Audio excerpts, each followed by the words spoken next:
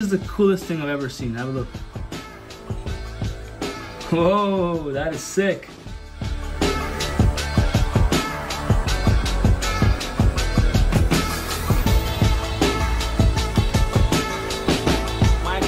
Versus Inno 64. Time Micro is on another level. I don't know how many times I've said this, but being a licensed product and not having the specs and features of a non-license is a shame. Yes, every company is different, but is it really good to criticize one because it's doing better? Hello folks, good morning. Welcome to RC Overdose X Diecast Domination. This is Dev coming to you. Shout outs to you guys. I hope you guys are having an amazing lovely day. Today, I'm here to help you weigh options between two remarkable diecast car brands. On one hand, we have the orange metallic Inno 64, acclaimed for its licensed designs and exceptional quality. And on the other hand, we have non-licensed brand Time Micro R34, which boasts an impressive array of features that surpasses even its counterpart in every way possible. So I hope you guys get some information and get some knowledge. Now, let's address the key factor that often plays a significant role in decision making price. Price. Price between these two astounding brands is a minimal, a mere $5 difference. Such a negligible gap in price, we have the opportunity to look beyond cost and focus solely on the features and benefits each brand provides. Licensing does play a key factor when it comes to business, but to some brands, it just wouldn't matter just because they're overseas.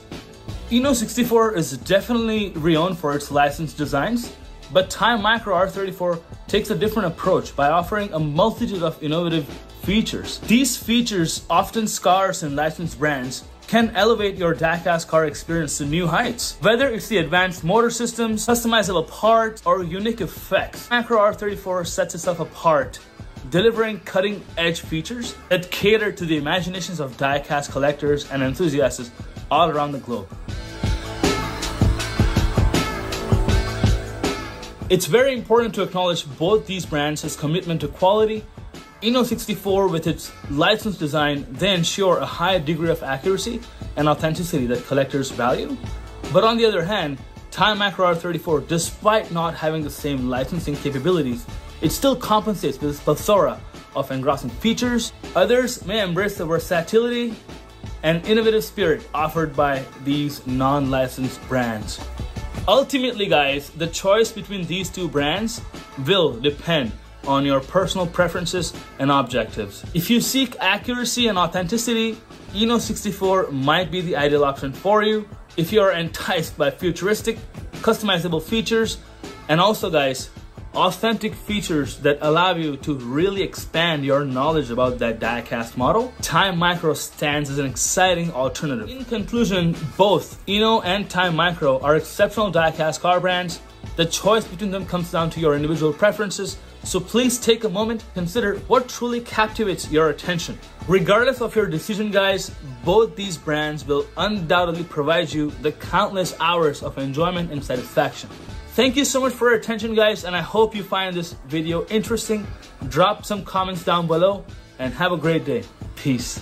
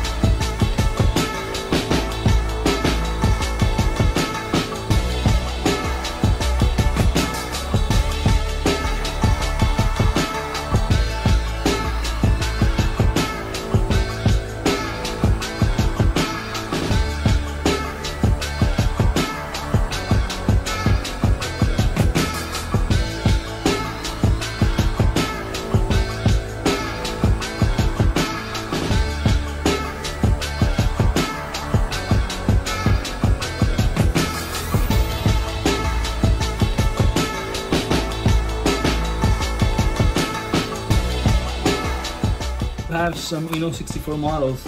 Here's one of the examples. You guys could see that the, the Nissan GTR emblem is not, not straight, right? And I mean, that could happen with numerous reasons. These things come from far different countries and I'm in Canada. Often weather is the problem as well with the gluing. Lots of miniature parts come with these models. So you have to be understanding and you have to also take into consideration that a couple of parts, if they are off, just glue them back to your needs. These things come with great features and guys have a look at the engine. The pipes are going everywhere. The engine is exposed and intake is also exposed as well. There's a little battery in there. There's, guys, you name it, they have it. The details in this particular model are insane. Let's zoom in a bit more and see it clearly. Wow. Wow, those are some features that I would want in a 164 diecast. Look at those disc brakes, guys. Amazing color coordination with the disc brake captors and the disc brake pads as well. Have a look at that hood. You guys can see through that hood. Oh, that's that's amazing. So the split spoiler, this thing takes away the charm because that is how the GTR should be with a split spoiler. Amazing, amazing feature. And guys, have a look at these rims. These rims are a bit more sexier than the Inno ones. You can get a lot of different rims, but come on. They do stand out a bit more, don't they?